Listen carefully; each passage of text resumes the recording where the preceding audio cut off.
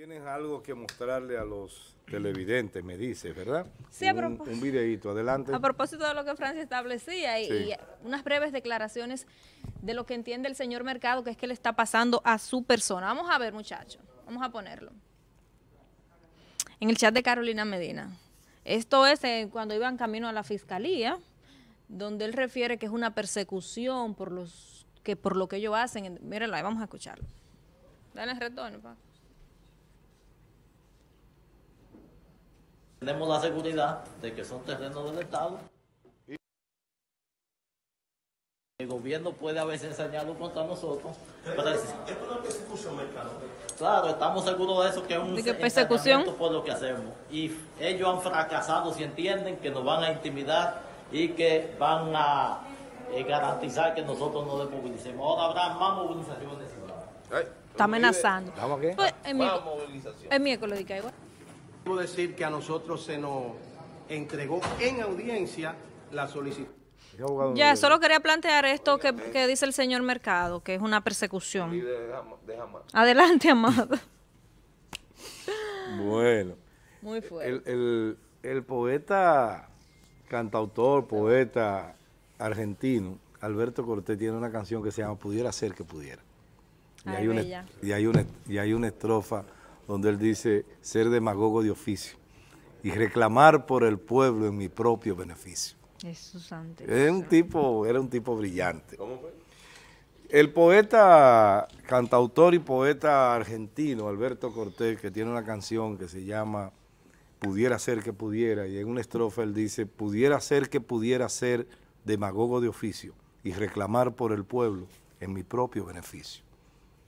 Eso pasa mucho, eso pasa muy a menudo. Pudiera ser reclamante del pueblo. Miren, eh, al señor Mercado y a los que están envueltos en este asunto de la, del apresamiento, es bueno que sepan que la democracia es un juego.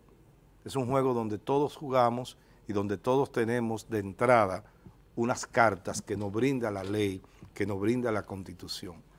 Lo que nosotros no podemos es ocultar parte de esas cartas bajo la mesa para jugar con ventaja. Sí. Entonces, ¿qué es lo que, qué es lo que pasa? Ahora, eh, eh, los, la gente de los grupos populares, los que están presos, que se han pasado la vida eh, criticando la impunidad, ahora quieren impunidad. Y quieren impunidad porque lo que cometieron fue un acto delictivo. Fue lo que, desde el punto de vista del procedimiento, los fiscales y abogados penalistas llamamos eh, la teoría del caso. La teoría del caso aquí es que ellos ocuparon un terreno ilegalmente y que la ley, hay una ley que prohíbe que eso se haga. En ese sentido, ellos están obligados a perseguirlo y ellos están obligados a demostrar lo, lo contrario de lo que el Ministerio Público le está planteando, porque indudablemente que desde el punto de vista estratégico, en ese caso de mercado y compañía, tiene que haber una defensa de coartada para poder enfrentarlo, porque la- lo- los elementos son evidentes. Esas tierras no son suyas, no. Eh, ¿Tienen un propietario? Sí, el Estado. Supóngase usted que fuera del Estado, que no, no sé cuál es el caso en, en el fondo, Sí, si lo es es o no lo- parte de la urbanización Jennifer. De los mismos terrenos, está en el mapa, lo pueden buscar. Está contigo al río, a la cañada o al río. Sí, el que están allá abajo. Y, Área verde. Y es era de- parte del área de- institucional y verde de la urbanización. Ok, o sea que ellos no Hay lugareños que también han aprovechado el mar revuelto y han querido cerrar un pedacito Sí.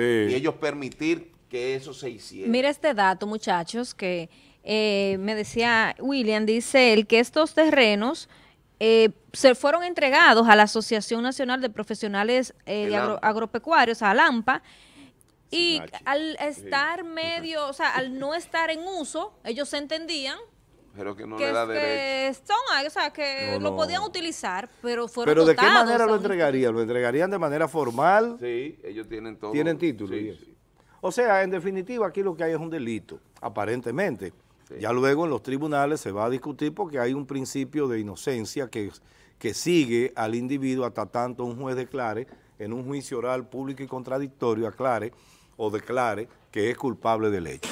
Lo cierto es, señores, amigos, que ahora vamos a ver una, una suerte de sainete ¿Cuál es el sainete? El sainete va a ser que los grupos van a venir al Palacio de Justicia. Hoy no se puede pasar por la 27 con, eh, con- eh, eh, entre Emilio Prudón e Inver. No se puede moverse por ahí porque eso va a estar lleno de gente. Y probablemente, si, el resultado es prisión preventiva, comiencen a tirar piedra y comiencen a quemar goma. Eso puede pasar hoy. Y no, se sabe hasta dónde va a ir esa escalada, porque incluso en el video que acabamos de poner, el señor Mercado lo dice. Si nos mantienen presos, va a haber problema. Ahora, ¿cuál es la situación? La situación está en que la sociedad no puede permitir el chantaje. Si nosotros permitimos el chantaje, cualquier carajo a la vela, no estoy diciendo que Mercado sea un carajo a la vela, Está actuando como tal. pero no, no, no, no lo estoy diciendo.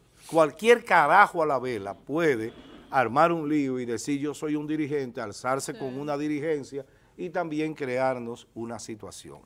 Ustedes saben por qué los pueblos se aco- lo a- los acogota la delincuencia. No es tanto por la falta de acción de las autoridades, sino porque nosotros dejamos, nos dejamos acogotar por, el, por, los, por los delincuentes.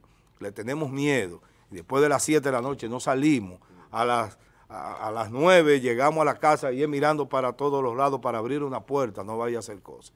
Entonces, si nosotros, la sociedad en bruto, la sociedad completa, en total, no dejamos acogotar por el chantaje,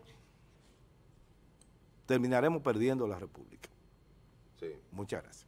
Gracias a ti, Amado. Mira, hay un comentario que hacía el señor, el, presidente, en ese mismo sentido, Amado, el ingeniero, ingeniero Jovino Núñez, esto fue en el edi- editorial que escribiera Antonio María relacionado al tema, donde el ingeniero Jovino Núñez, en su condición del presidente del, ajá, del gremio, hizo un llamado a los invasores a que abandonen el terreno porque allí ellos van a, está- están construyendo, van a construir una cancha deportiva, un parque ecológico, es decir, que eso tiene dueño y aún no tenga, o sea, es descabellado. Aun cuando sea del Estado, lo del Estado no es de, no es de- no es de del ninguno pueblo. en particular, es de todo. Exacto, exacto. Él no tiene derecho, ni nadie Tú tiene sabes, derecho a Amado, un que aprovechar el- en- al final tu comentario, un mensajito a la gente llana que aspira a tener un solarcito. No le compren, no se metan en comprarle a, a- invasores, que eso no tiene ningún derecho. Después ustedes tienen una edificación que cuesta millones de pesos, que quizás sea todo a su ahorro, pero sin derecho de propiedad, porque el terreno es el que recibe el título, no la casa ni lo que usted construye. Usted puede hacer lo que sea y eso no se menciona en el título, es el terreno que tiene valor porque es lo que no se mueve, lo que, no, lo que tú no te puedes llevar. Ahora bien, no vamos a darle valor a tierras invas- invadidas por desaprensivos. Mientras eso tenga valor, ellos van a estar en eso. Totalmente. El problema también es que lamentablemente aquí en San Francisco tenemos muy malos precedentes con eso. Aquí hay barrios enteros que se fundaron de esa forma. Y recientemente, invadiendo. vamos a decir, porque quizá en épocas anteriores, muchos años, que no había como tanta, no sé si regulación o como que era más... por un tiempo. Pero estamos hablando de la historia reciente, José Manuel. No, es que, o sea, es prácticamente una tradición, principalmente de esos grupos que, que, que de forma anárquica y ¿Viste e el Valle, el incorrecta, mejor ejemplo ilegal, de eso? se apropian de cualquier terreno que a ellos le huela a que son del Estado. No, y le piden a la gente, enséñame tu título como si fuera en el Tribunal de Tierra. Sí, sí, sí, sí, sí. Enséñame tu Pero título. mira, de que. Manhattan, Broadway, eso, la 181 allá. eso pasa porque se lo hemos permitido. Exacto, eso es lo que decía. La, lamentablemente. la autoridad se lo permite. Y no voy a mencionar nombres por un asunto de respeto.